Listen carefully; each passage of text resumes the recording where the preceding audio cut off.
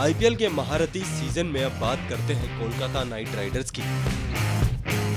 IPL के season में KKR आपको बिल्कुल बदली बदली सी नज़र आएगी। खिलाड़ियों की नीलामी के दौरान इस टीम के कई खिलाड़ी इधर उधर हो गए, जिसमें खुद टीम के कप्तान गौतम गंभीर भी है। केकेआर को दो बार खिताब दिला चुके गंभीर, फ़िलहाल इस बार टीम के साथ नहीं है।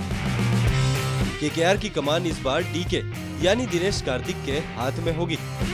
तो आइए बात करते हैं डीके की केकेआर के मोस्ट एक्सपीरियंस प्लेयर की। कोलकाता नाइट राइडर्स को इस सीज़न में दो अनुभवी खिलाड़ियों का फ़ायदा मिलेगा। जी हाँ टीम के कैप्टन दिनेश कार्तिक और बल्लेबाज रॉबिन उथप्पा, ये दोनों खिलाड़ी अपनी टीम में सबसे अनुभवी हैं। दिनेश कार्तिक के आईपीएल करियर की बात करें तो टीम के अनुभवी खिलाड़ी डीके ने कुल एक मैच खेले हैं। इस दौरान अब तक 2,903 रन कार्तिक बना चुके हैं।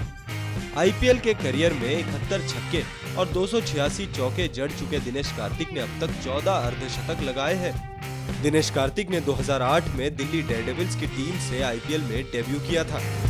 जिसके बाद से Kings Eleven Punjab Mumbai Indians Royal Challengers Bangalore और गुजरात लायंस के लिए भी खेल चुके हैं दिनेश कार्तिक। पाँच टीमों के लिए खेलने वाले दिनेश कार्तिक इस बार केकेआर से कैप्टन के तौर पर जुड़े हैं। वही इस टीम में एक और अनुभवी खिलाड़ी है, रॉबिन उथप्पा, जिन्होंने अपने कप्तान डीके से आईपीएल में सिर्फ़ तीन मैच कम खेले हैं।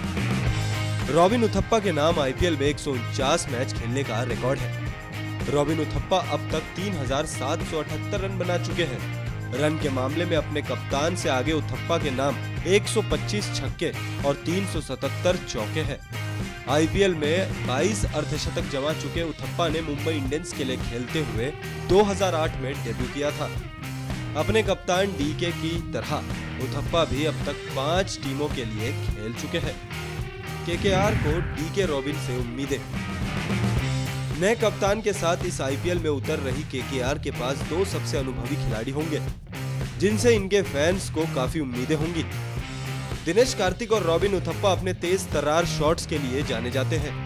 वही दोनों ही रन को रफ्तार देने में माहिर है।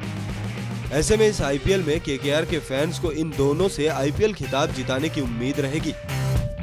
इन दोनों खिलाड़ियों के सामने गौतम गंभीर की जगह, भरना भी बड़ी चुनौती होगी।